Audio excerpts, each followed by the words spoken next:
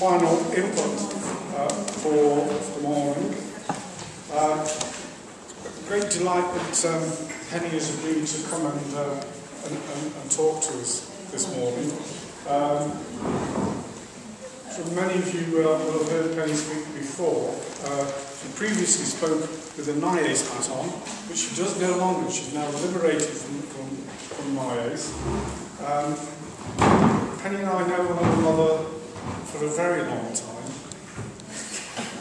Um, from the time when we, we, uh, we started work in the um, Black Country area. And um, during the period of the, the 1980s, where, of course, there was um, significant levels of unemployment, and, and what I always find interesting is that when we were uh, working during that period, there were significantly high levels of, of unemployment um, that, that, became sufficiently politically embarrassing uh, that it became the norm for people in certain industries to be defined as being sick rather than unemployed, which meant that the unemployment statistics didn't rise, uh, but the people on the uh, disability list did significantly rise. And in some respects, I think maybe what we're going through still now are some of the echoes of those previous policies and, and uh, decisions. Anyway, that, that's my little uh,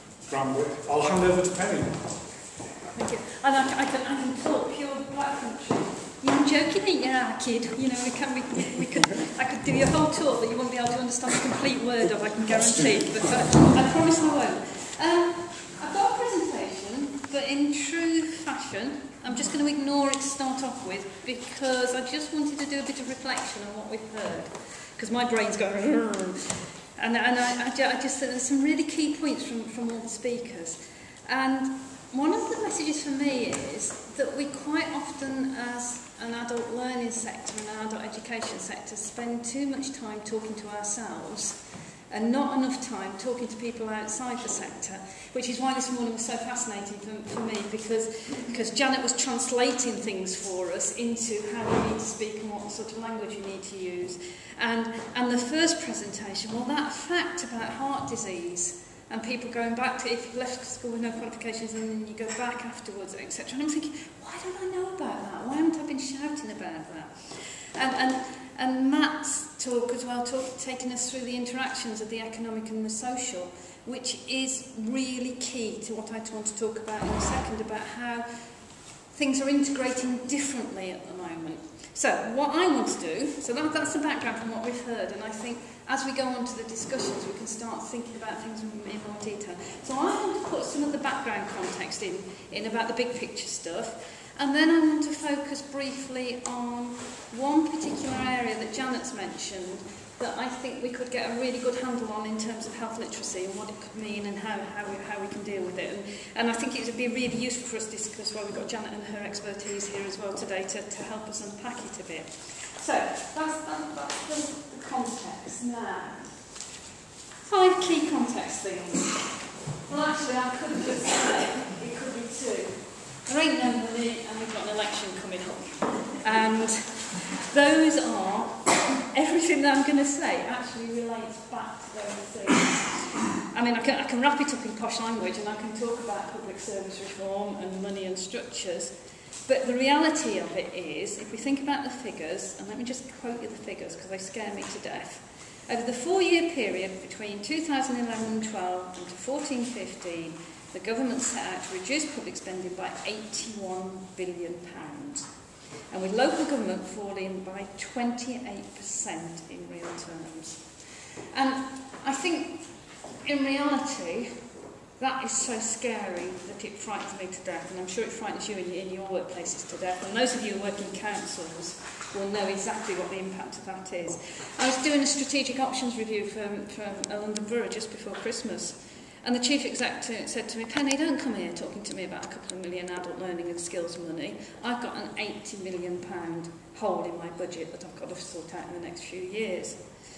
Well, at the end of the review, I went back to him and said, I'm not talking to you about 2 million, but I'm talking to you about 30 million that comes into your borough, and you, you've got no strategic overview of it. You know, you've got to think about it in terms of big picture and joined up.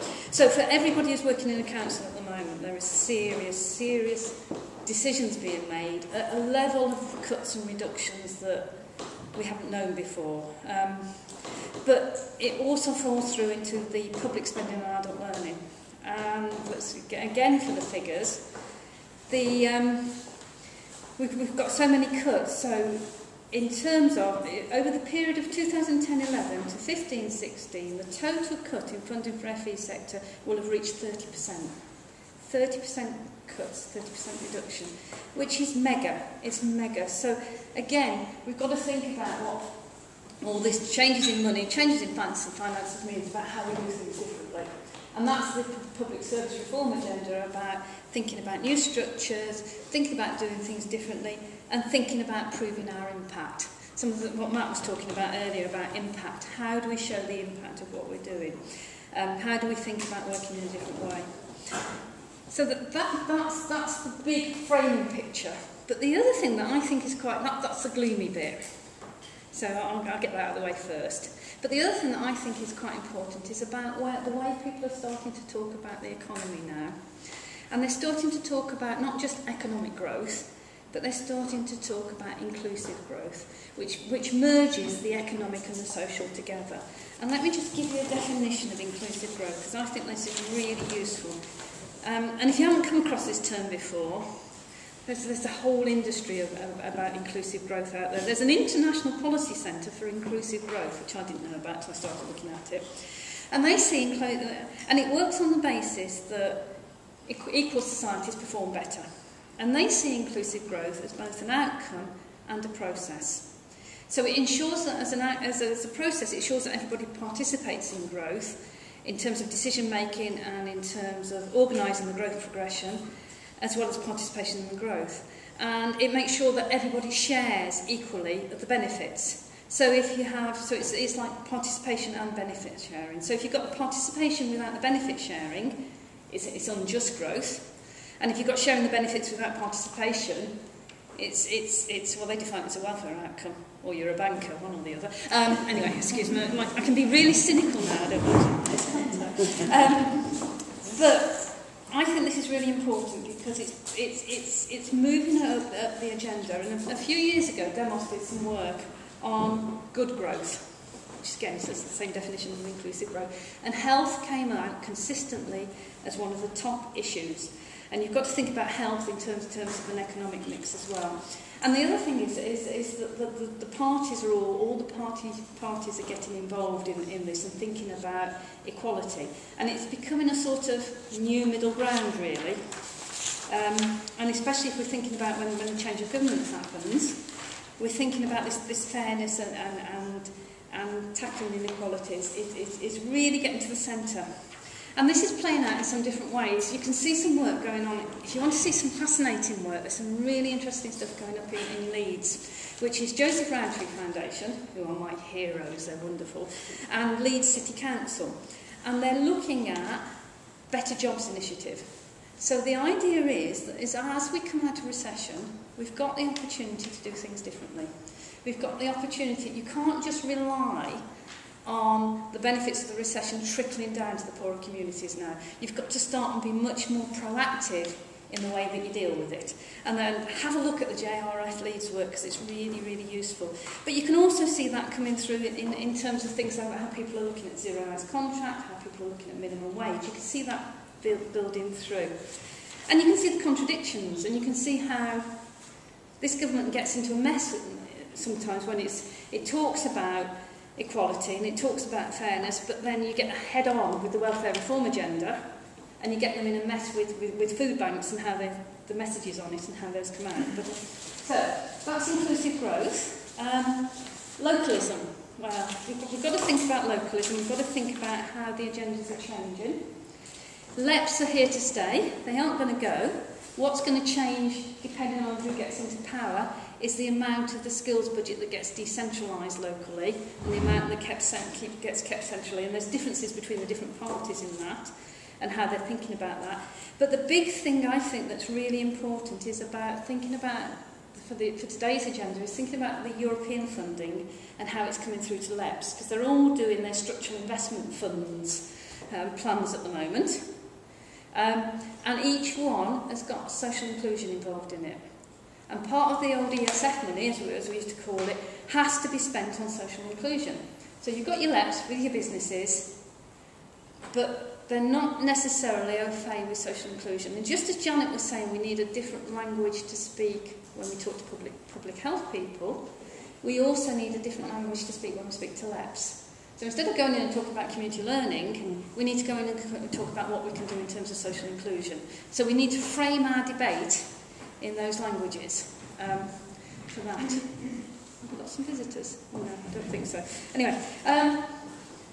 and then the final thing that I wanted to say in terms of background is about governance and accountability. And there's lots and lots of debates, and through this audience, I know if I start, if I say Ofsted, you'll, you'll know exactly what I mean. We've got to a situation where a lot of the accountability goes upwards. If you think about, you're accountable to the to the Skills Funds and Agency, you're accountable to Ofsted through inspection, but how do you become accountable to, on a horizontal basis, to your local, local communities?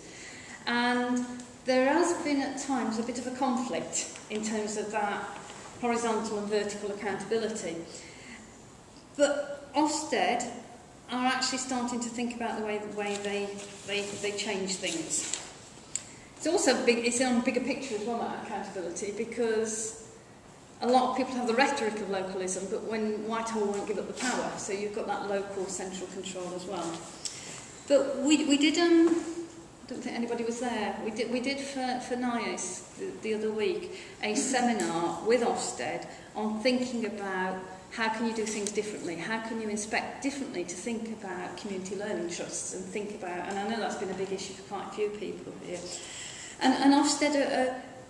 are starting to think completely differently. And if you want to see Ofsted getting what somebody's doing differently in a local community, read the Kirklees inspection report. I don't know whether you've seen it, but they got straight grade ones and the inspectors just got it. And they got what people were trying to do. But out of this meeting came, came some suggestions that and, and some really practical things. And I, I just thought, I, it was meant to be chatting House rules, but I think I'll just share a few of them with you. One of the big issues that, the people were raising were that the inspectors didn't quite understand and didn't have the right experience for, for inspecting community learning. And one of the big issues for that was that actually they hadn't got, Ofsted hadn't got the right information about what was going on. Because with short notice inspections, you haven't got time to do the planning. So again, they were thinking about how they could get more up to date, how they could get more information, how they could get more inspectors with community learning, learning experience, experience coming in. Um, they're also looking about how they could think about how they could look at across the whole organi organisation, just not an organisation but across an area in, in terms of, of, of looking at how your community learning partnerships are, are working. So that's, that, that's just a very quick rattle through in terms of some of the background. And then the final one, which is really, really the biggie, is about the election. Because although it's May 2015, do not underestimate the influence that that's going to have on everything at the moment. And we've got a short period of time, probably now, from between now and up to the summer, when they're all, all the parties are putting together their manifestos. So we've got a short period of time to influence on what we want to think about in terms of learning. Um, and if you think about it in terms of priorities, every party is going to prioritise youth unemployment. Whatever we think about it, that's what's going to happen. So this, this, this, this issue about apprenticeships and apprenticeships taking being only, only time, town isn't going to go away because they're all going to come up with, with, with different versions of apprenticeships or, or apprenticeships, there's going to be different work, versions of, of work programs, you know, just and do you kind of go back to um, future Josfin type model, do you carry on with the work program working, there'll be all that debate. There'll, there'll be a lot of debate about young people. But there's also a chance to influence on health.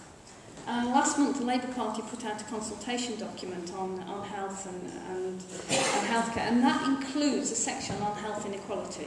So there, there's, there's a door there to go in and to, and to, to do some response, responses with us. Janet is sitting there nodding sagely that um, is, is about thinking about how we can do that and what we need to say on that because we've only got a short period of time to, to influence. The other big thing about the election is that There'll be the national stuff, but a lot of it will be played out in the key marginals.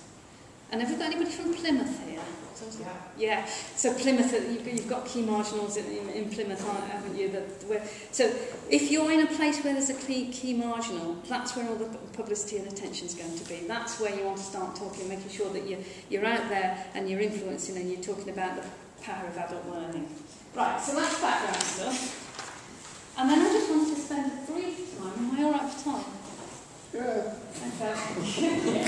what time am I to finish? Oh, yeah, five, ten minutes. Okay. Um, I just want to talk a bit about health literacy, because, and Janet mentioned this, but I just think it's one of the most stunning facts that you can think about. If 42% of people aged 16 to 65 are unable to understand and use health information and 61% of maths, maths are involved. And this, this is some um, LSBU uh, research um, that's just coming out. If you think about that, that is phenomenal. That's, that's 15 to 21 million people across the country can't get the information that they need to stay healthy. That is it's just like, it's one of those stunning figures that we think, good heavens, is, is, is, it, is it an effective, is, is that the real figure? And that is, and you think about literacy, and I'll show you some literacy figures in a minute that we can compare with.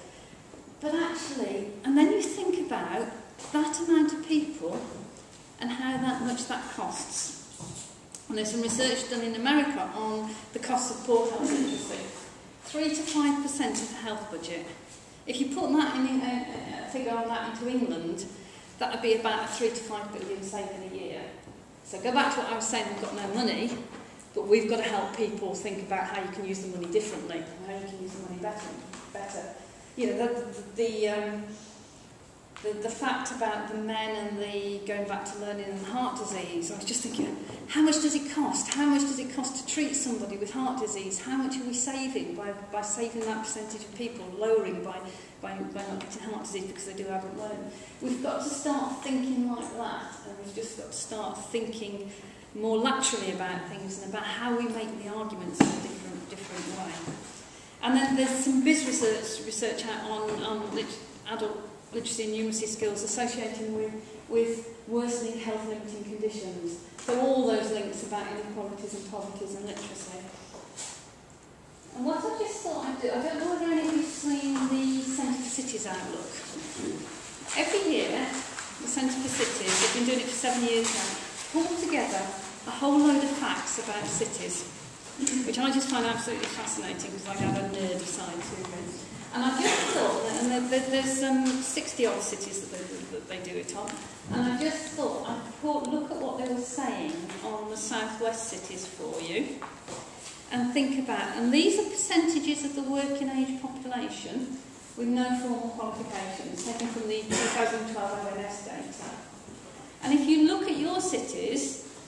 So Gloucester has got 11%, 11.35. The UK average is 9.9, and the rest of the cities are below.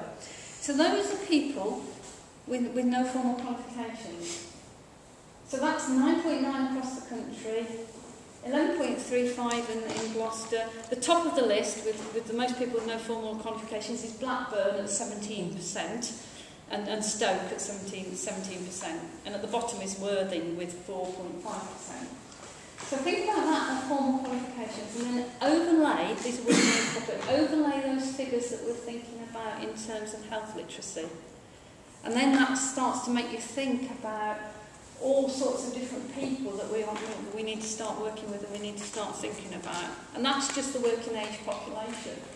That's not covering people like Oh, my mother said to me, my aged mother, 83, said to me the other day, arthritis and she went to the hospital and they said, how much does it hurt on a scale of 0 to 10?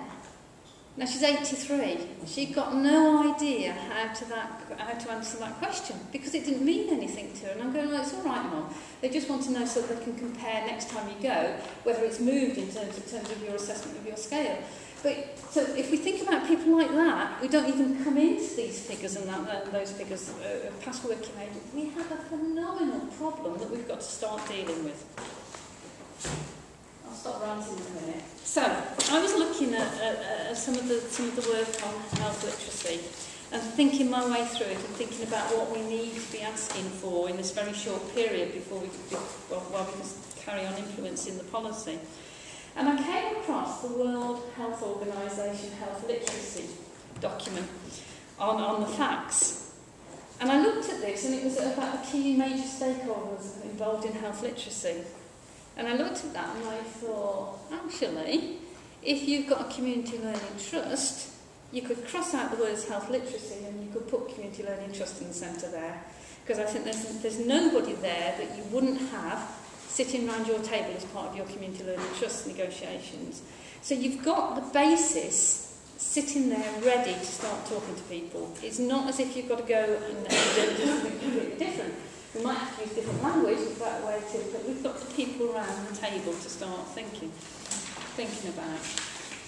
So then I've got on to thinking about what do we need to be asking for and what needs to happen.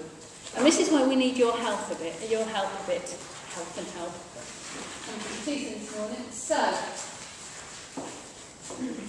this is what I think, um, from the reading I've done, needs to happen.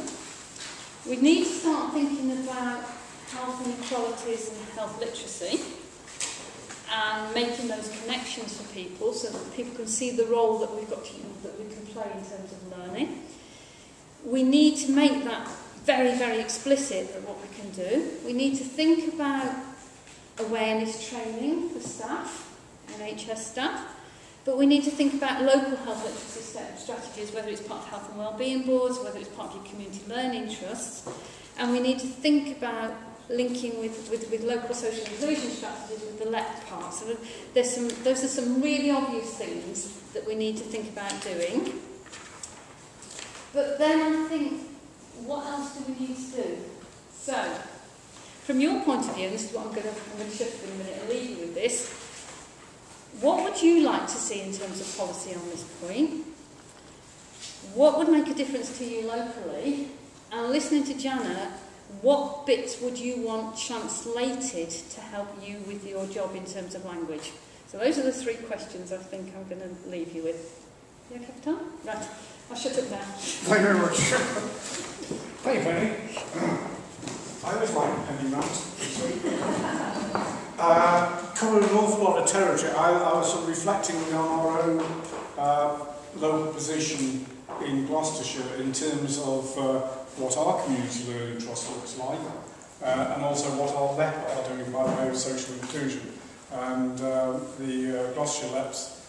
social inclusion is very much focused on the needs of young people, the needs of uh, uh, adults, um, don't feature, at, at least at, at the moment, in that. And um, our uh, Community Learning Trust consists of the local authority and the colleges at the moment. Um, so, um, anyway, thank, thank you all, uh, all our speakers for their contributions. now an opportunity for you to talk. We've got 45 minutes uh, talk on your tables about what you've heard this morning and hopefully then to come up with some questions and we'll have a half hour session starting at half 12 uh, with all the panel members and Toronto will be, be joining us back for that final session. So um, over to you. Thank you.